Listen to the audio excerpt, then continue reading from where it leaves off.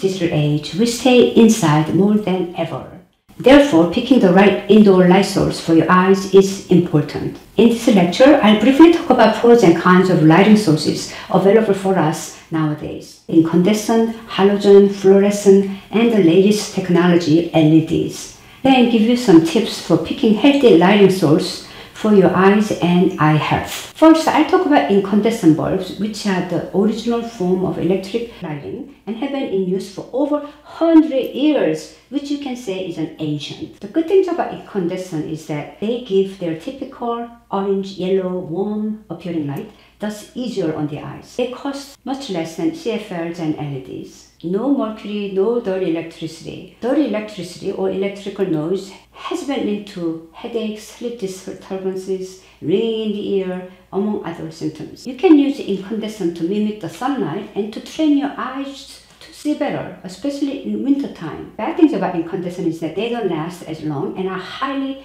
energy inefficient. Due to their high energy consumption, incandescent bulbs are no longer manufactured in the United States since 2014, but you can still buy them online like Amazon. Next, I'll talk about halogen light bulbs.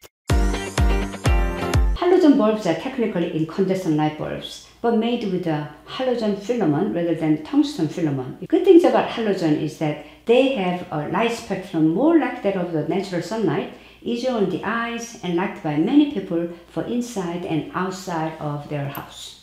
Halogens have a longer life and slightly cooler, whiter in color and higher efficiency than traditional incandescent bulbs. They contain no mercury, no dirty electricity. Bad things about halogens is that they are less energy efficient than LEDs and CFLs. As halogen is less energy efficient than LEDs and CFLs, some countries are phasing out halogen bulbs, but there are still plenty in the market. What about fluorescent lights and CFLs? Fluorescent lights cast a harsh bluish light. Fluorescent tubes used mostly on the ceilings in offices, public or industrial buildings, and older homes have been very commonly used because they use less energy than traditional incandescent bulbs. CFLs, compact fluorescent light bulbs, those curly light bulbs, are just modified versions of the fluorescent light. CFLs are commonly used in home environment as they fit in standard household light sockets Good things about fluorescence is that they save energy and last longer than incandescent or halogen light bulbs. There are many bad things about fluorescent lights. They emit substantial levels of blue light and UV light. They are bad for your eyesight as its blue light scatters more easily, making it hard for your eyes to focus if you try to read or work directly under it.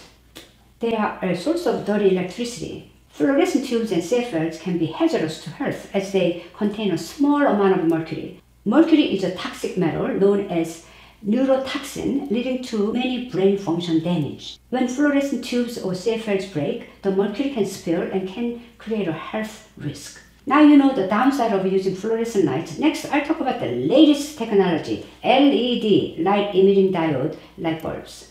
The latest technology, LED lights. Because LEDs are much more energy efficient than other light bulbs, they became omnipresent in TVs, computer screens, smartphones, tablets, and certain e-readers. LED light bulbs are also used in many home and office settings, as you know.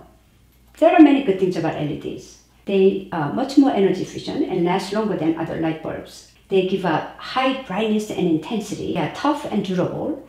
They have many color options Unlike fluorescent bulbs, LEDs do not contain mercury. LEDs generate light using a semiconductor. So you can program LEDs to change to different colors and set the time to turn it on, etc. LEDs are also used commercially for outdoor signs, digital signage for events, and advertisement. There are some downside of using LEDs, unfortunately. LEDs emit significant amount of blue light, which can damage the eye's retina and disturb natural sleep rhythms. Even white LED technology and full spectrum LEDs still emit blue light.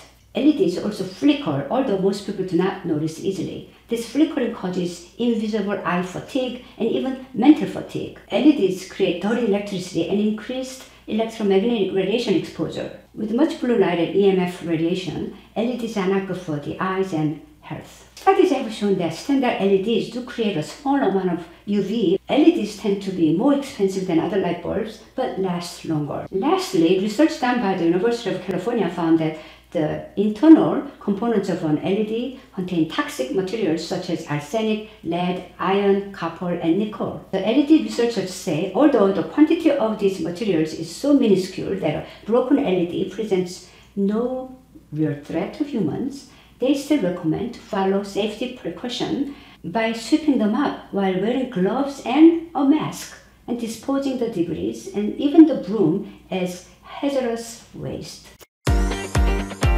Finally, tips in selecting light bulbs. Now you know pros and cons of different light bulbs. Here are some practical tips on selecting light bulbs. The safest light bulbs are incandescent, although they are certainly not the most energy efficient. Use incandescent to read, mimic the sunlight, and to train your eyes to see better, especially in wintertime. Avoid fluorescent tubes and CFLs if you have an option. If you have to use CFL bulbs, then find mercury-free CFLs or choose the ones that are double encapsulated. This will help protect the mercury from leaking out of if they are dropped.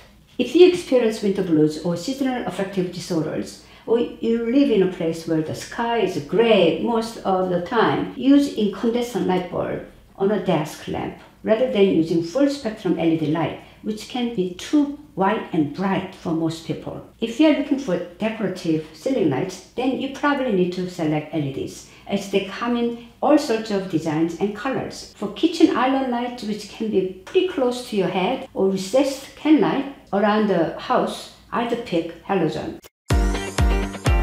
Okay, we are done with the lighting options. Next, we'll move on to the next section where I talk about how to reduce EMF and cell phone radiation and nutrition tips for your eyesight and eye health. I hope this video was helpful. If it was, please share it with your friends. Hit the like button below and be sure to subscribe.